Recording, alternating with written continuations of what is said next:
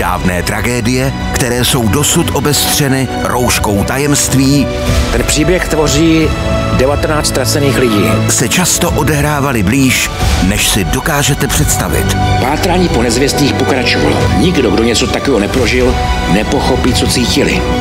Kudy kráčela smrt? Každý večer na CS History.